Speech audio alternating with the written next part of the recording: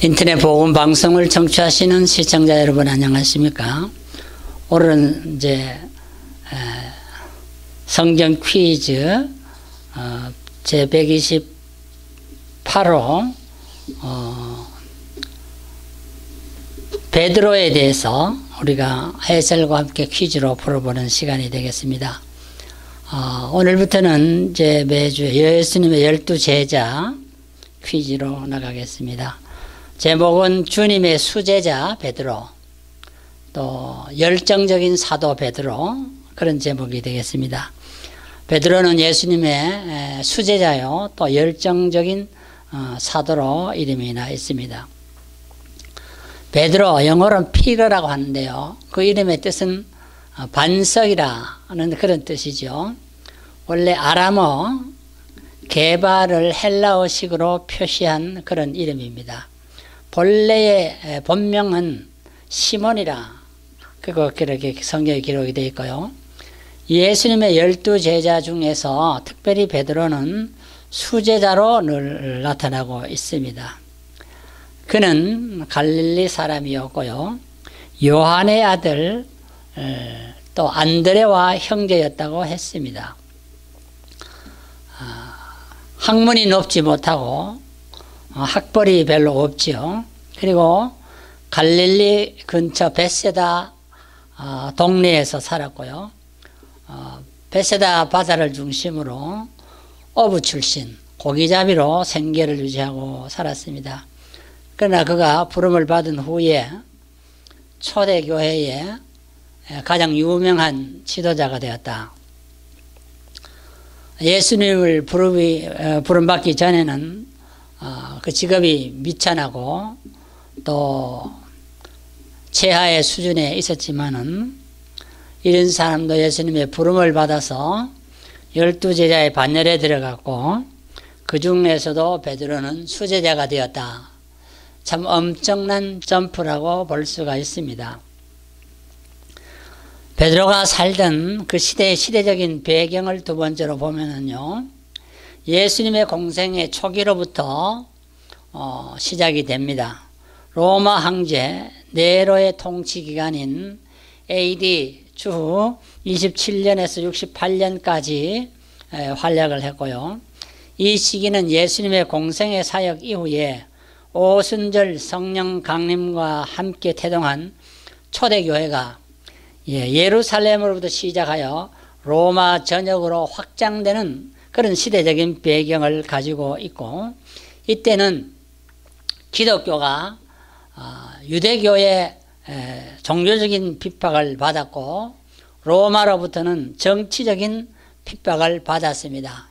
이 안팎으로 종교적으로 정치적으로 박해를 받는 이 시대에 베드로는 예수님의 부름을 받고 어부 출신에서 사도로 맹활약하는 모습을 우리는 보게 되는데 참으로 학벌도 가난한 집에서 이렇게 안팎으로 많은 어, 시련과 박해가 있는 시대에 활약을 했다는 것은 많은 순환을 예고하고 있는 것입니다. 실로 초대교회 주역으로서 베드로는 자기의 역할을 충실히 감당했다고 볼 수가 있습니다. 베드로에 있어서 세 번째 우리는 그의 중요한 어, 생애를 볼 수가 있는데요. 예수님의 제자로 부름받기 이전 시대에는 베세다에서 어업에 종사했다고 했습니다. 결혼하고는 장모를 모시고 살았다. 마가복음 1장 29절에 기록을 했습니다. 또 어, 그는 동생 안드레의 전도를 받아서 예수님께로 나가는 모습을 볼 수가 있습니다. 또 갈릴리에서 예수님의 부름을 받았습니다. 그래서 이제 어부 출신이 제자가 된 이후에 그의 주요 활동은 어, 예수님의 사도로 세움을 받았고요. 한때는 예수님이 오라 하실 때에 물리를 걸었다고 성경은 기록을 했습니다. 사람이 물리로 걸어갈 수가 있느냐? 기적이죠. 가능한 어, 것을 성경은 보여줍니다. 아무나 할 수는 없지만은요. 예수님이 오라 하실 때에는 어, 물 위도 걸어갈 수 있는 능력을 그에게 주셨다고 볼 수가 있죠. 또 그는 예수님의 열두 대자 중에 마가복음 8장 29절을 보면은 어, 예수 그리스도를 최초로 하나님의 아들 그리스도로 고백하는 신앙 고백자였던 것을 우리가 볼 수가 있고요. 그 다음에 예수님의 첫 번째 순환을 예고할 때에는 예수님이 자기 스승인데 결코 예수님께는 순환이 있어서는 안 된다고 강력하게 만류하는 것을 볼 수가 있습니다. 아, 그리고 그는 부름을 받은 이후에 변화산상에서 예수님의 아름다운 변화의 모습을 목격했다. 참 예수님의 놀라운 신성을 목격하는 장면입니다. 그리고 예수님께서 어, 발을 씻어줄 때는 어, 반대한다. 어, 저는 제가 예수님의 발을 씻어야지 어떻게 스승이 제자의 발을 씻을 수 있겠냐고 반대했지만은 결국은 예수님의 그 권유에 그는 발을 씻김을 받았던 것을 볼 수가 있습니다. 예수님이 겟세반에서 기도한 이후에 체포될 때에는 대제사장 말고의 길을 칼로 잘랐다. 아, 보면은 어, 상당히 급격하고 정의의 사람인 것을 볼 수가 있습니다. 그러나 마가복음 14 어, 마가복음 14장을 보면은 어, 예수님이 십자가에 달려 체포될 때에는 도망갔다. 어, 참 겁이 많은 사람인 것도 볼 수가 있지요. 그리고 내가 나를 세 번 다구기 전에 부인한다고 할 때에 그 말씀을 들었는데 그는 결코 부인하지 않을 거라고 하는 장담도 했던 베드로입니다. 그는 예수님의 빈 무덤을 찾아가서 목격을 했고요. 또 부활하신 예수님도 자기의 눈으로 목격을 했습니다. 디베라 호수에서 목양 사업을 다시 재임명받는 것을 볼 수가 있고요. 예수님이 감남산에서 승천하실 때도 그 광경을 직접 목격했던 것입니다. 아, 변화산에서 변화된 모습을 목격했고 빈 무덤도 목격했고 부활하신 부활의 주님도 목격했고 승천도 목격했다. 이걸 보면은 예수님의 중요한 생애 때마다 산 증인으로 직접 듣고 봤던 것이 베드로였던 것을 볼 수가 있습니다. 그는 예수님이 돌아가시고 승천하신 이후에 초대교회 시대에 큰 역할을 했는데요. 그는 예수님의 명령에 따라서 마가의 다락방에서 오순절 성령의 강림을 체험했습니다. 아, 이론적으로 3년의 예수님의 교훈을 받았지만은 이제 성령의 뜨거운 체험을 오순절날 했던 것입니다. 아, 모든 자들에게는 이런 성령의 뜨거운 체험이 필요한 것입니다. 아, 그는 체험 전과 체험 이후가 너무 달라졌는데요. 체험한 이후에는 그는 3천 명 한 번 회개할 어, 설교할 때 회개했다. 성경 그렇게 기록합니다. 엄청난 어, 능력을 발휘했던 것을 볼 수가 있고요. 성전 미문에 앉아 구걸하던 어, 나면서부터 안진뱅이도 어, 베드로가 치유하는 모습도 볼 수가 있습니다. 평생 걸어보지 못한 자가 베드로를 만나서 걷게 되는 것도 기적 중의 기적인데 성령 충만한 베드로는 이런 기적을 일으켰습니다. 아, 그는 복음을 전파했다는 죄로 첫 번째 투옥이 되었는데요. 그래서 사내들은 공회에 끌려갔을 때에 거기서도 예수님을 증거하고 어, 나왔던 것을 볼 수가 있고 두 번째 다시 복음을 전파하다가 투옥되었을 때는 주의 사자에 의해서 옥문을 풀려나온 모습도 성경을 기록했고요. 요한과 함께 사마리아에서 어, 복음을 전하는 모습도 볼 수가 있습니다. 예수님은 예루살렘과 아, 유대와 사마리아와 땅 끝까지라고 했는데 여기 사마리아에 참 인간 대접을 받지 못하던 유대인들에게 유대인으로서 베드로는 나가서 전도하는 모습을 볼 수가 있는 것입니다. 이것은 예수님의 지상 명령을 수행해 나가는 모습이라고 볼 수가 있습니다. 그는 사도 바울과 대면했다고 되어 있고요. 어, 루다에서는 중풍병자 다비다를 고쳐주었다고도 성경에 기록하고 요바에서는 죽인 어, 죽었던 다비다를 살렸다. 아, 죽은 자를 살리는 것은 예수님의 생애에서도 볼 수 있는데요. 베드로도 죽은 자를 살렸다고 기록을 했습니다. 성령 충만한 베드로가 이러한 놀라운 기적을 일으켰던 것을 볼 수가 있고요. 그는 다시 이방인 고넬료에게도 복음을 전했다. 사마리아, 그 다음에 고넬료, 이렇게 복음을 이방인들에게 복음을 전하는 유대인 베드로를 볼 수가 있습니다. 그리고 사도행전 11장에 보면은 예루살렘 총회 때 나타나서 이방인 선교의 정당성을 많은 유대인 총대들에게 설명하는 모습을 보게 되는 것입니다. 유대인들은 그들을 사마리아인들이나 이방인들을 어, 사실 개같이 여겼기 때문에 선교의 대상이 아니었습니다. 그러나 유대인 베드로, 예수님의 수지자 베드로는 성령 충만한 이후에 사마리아로 가서 전도하고 이방인 고넬료를 어, 선교하는 모습이 기록이 되어 있습니다. 이렇게 선교하는 베드로가 다시 3차로 감옥에 투옥되는 모습이 나오는데요. 사도행전 12장에 보면은 천사가 나타나서 옥문을 열고 베드로를 탈옥시키는 모습을 볼 수가 있는 것입니다. 예루살렘 총회에서 이방인을 전도하는 것이나 옥중에서 세 번이나 투옥되어서 이렇게 하나님의 특별한 섭리로 천사가 직접 나타나서 전도자 베드로를 도와서 투옥시키는 모습은 참으로 하나님께서 복음 전도자를 보호하신다는 것을 잘 보여주고 있습니다. 그는 베드로 전서와 베드로 후서를 기록한 성경의 두 권을 기록한 저자이기도 한 것입니다. 그는 한 걸음 더 나가서 어, 고린전서 1장 12절을 보면은 어, 유럽 전도, 고린도에서도 전도했다. 그렇게 되어 있고요. 갈라디아 2장 11절에 보면은 안디옥에 가서도 어, 방문을 했다. 그 되어 있고 어, AD 68년경에는 로마에까지 가서 전도하다가 순교를 당했다고 어, 역사가들은 기록하고 있습니다.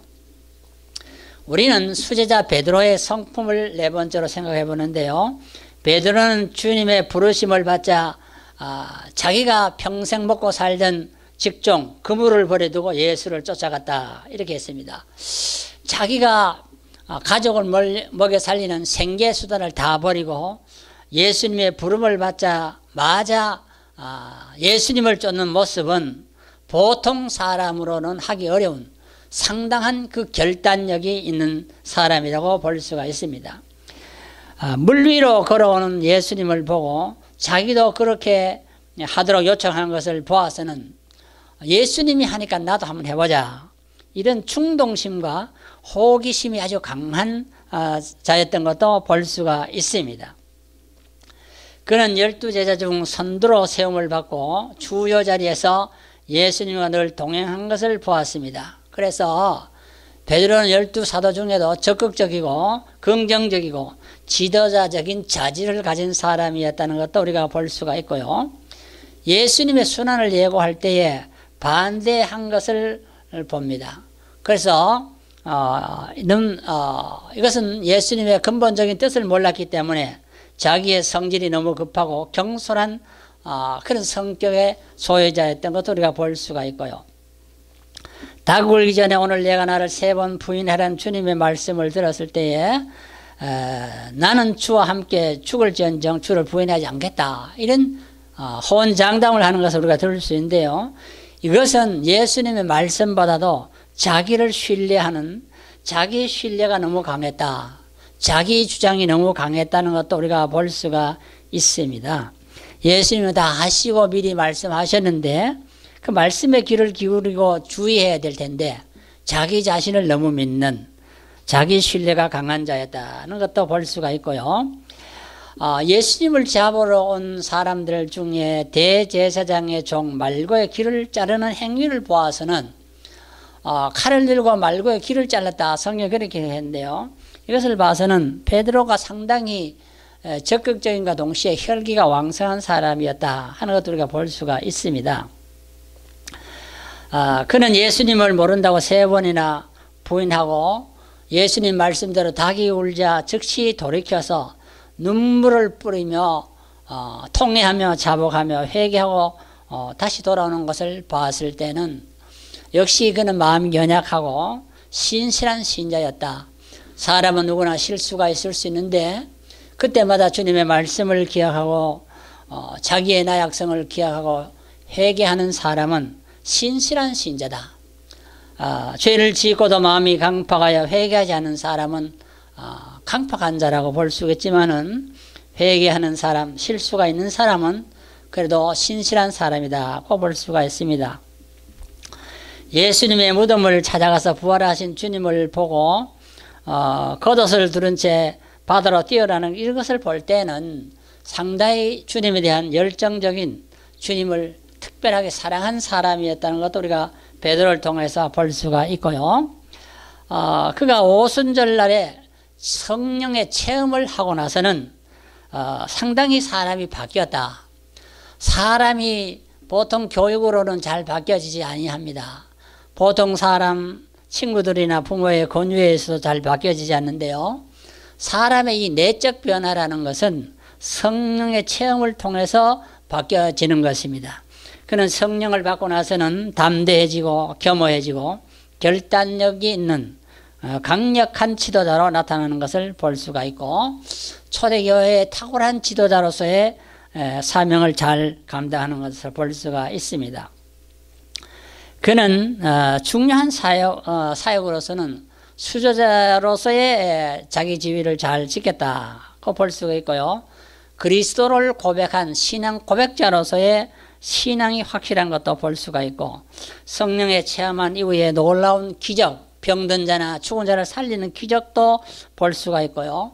초대교회의 그 어려운 안팎의 수련, 어, 박해 가운데서도 지도자로서 초대교회를 잘 세워나가는 이런 훌륭한 지도자적인 역할도 볼 수가 있습니다.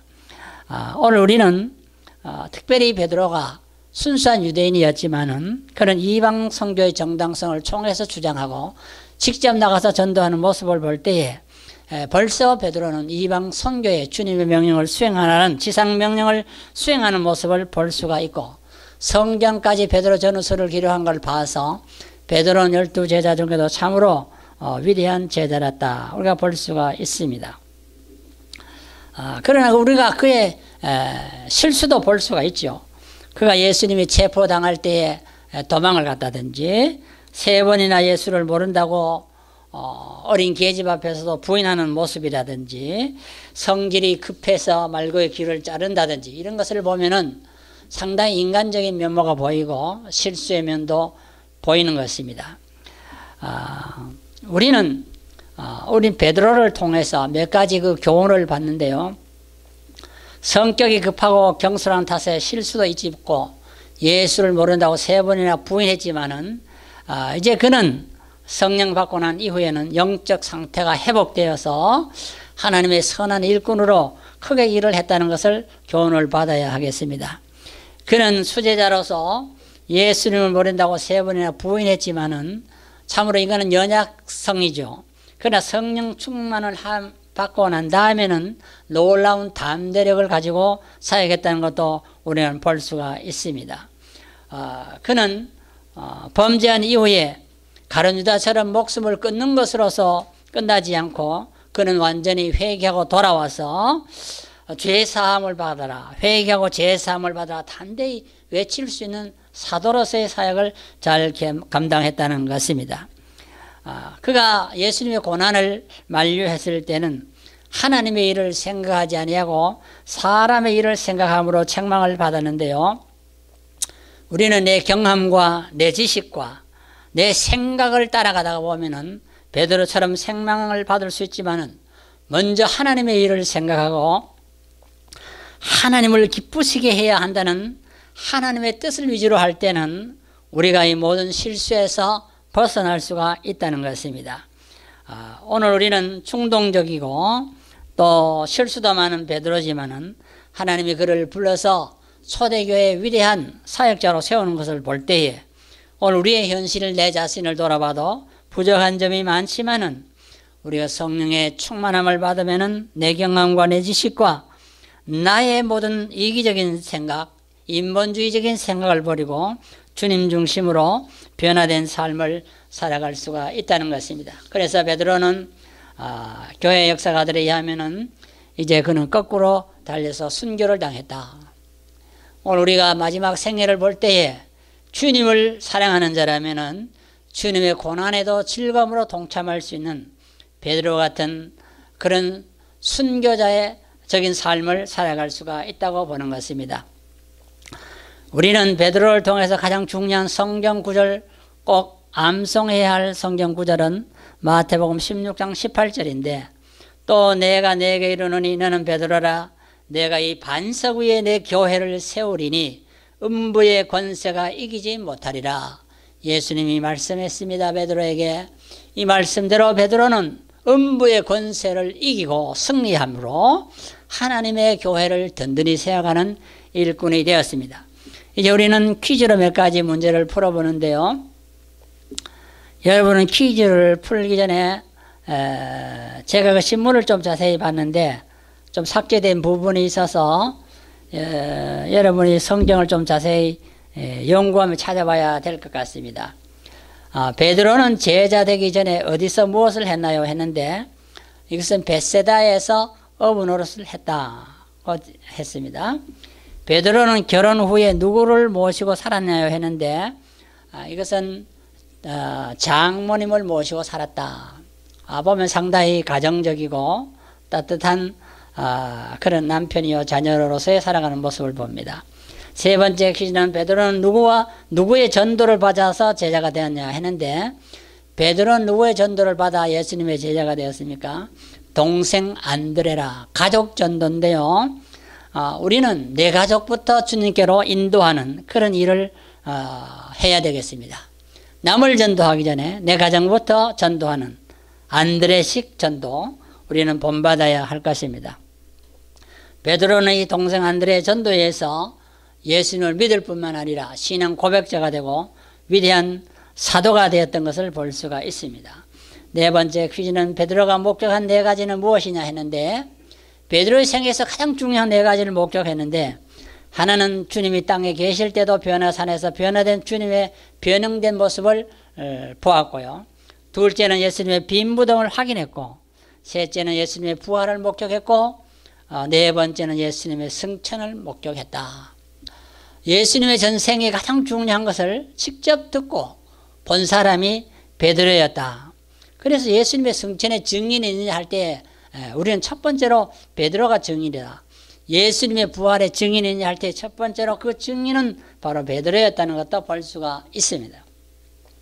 다섯 번째 퀴즈는 베드로는 요바에서 누구를 다시 살렸냐 했는데 요바에서 어, 죽은 사람 다비다를 다시 살렸다. 성경 그렇게 했습니다. 죽은 자를 살리는 것은 하나님만 할 수 있는 건데 성령 충만한 베드로가 이 사실을 어, 성경에 기록을 했습니다. 그다음에 여섯 번째 베드로는 3차로 투옥이 되었을 때 누가 건져 주었냐 했는데 하나님께서는 주의 종이 어려움을 당할 때에 아무도 그를 돌보고 건져줄 사람이 없을 때 천사를 직접 파송해서 천사는 하나님의 일꾼이요 심부름꾼이니까 천사를 보내서 베드로를 투옥시켰다. 우리가 지상에 살아가면서도 천사의 도움을 받을 수 있겠느냐? 성경적으로 사람의 도움을 받을 수도 있지만은 천사의 도움도 받았다는 것을 신약 성경 우리 베드로를 통해서 알 수가 있습니다. 일곱 번째 베드로는 누구의 길을 잘라나야 했는데 대제사장의 종 말고의 길을 잘랐다. 그렇게 했습니다. 성질이 좀 급하고 인간적인 면이 있죠. 어, 물론 실수지요. 그 다음에 여덟 번째 베드로는 유대인들에게 무엇의 정당성을 주장했느냐. 사도행전 11장 이하를 보면은 이방 선교라. 아, 그는 이방인 사마리아와 고린도와 이방으로 나가서 헬라인이나 이방인들에게도 전도했다.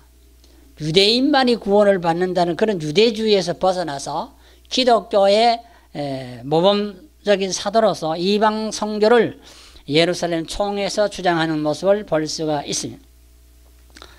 아, 그 다음에 아홉 번째는 베드로는 예수님께 왜 심한 책망을 받았느냐고 했는데 아무리 수제자지만은 하나님의 일보다도 사람의 일을 먼저 생각하면은 책망을 받는다. 그것입니다.